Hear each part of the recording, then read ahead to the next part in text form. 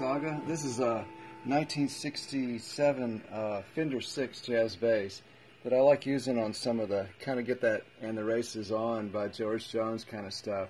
Um, I use it on tribute to Jerry Reed, and then also use it to like double up bass lines sometimes.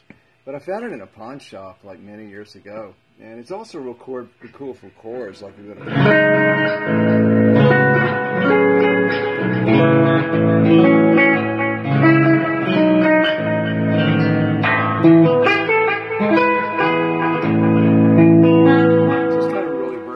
It's just tuned an octave down from a regular guitar. Hope you guys are doing great. Thanks.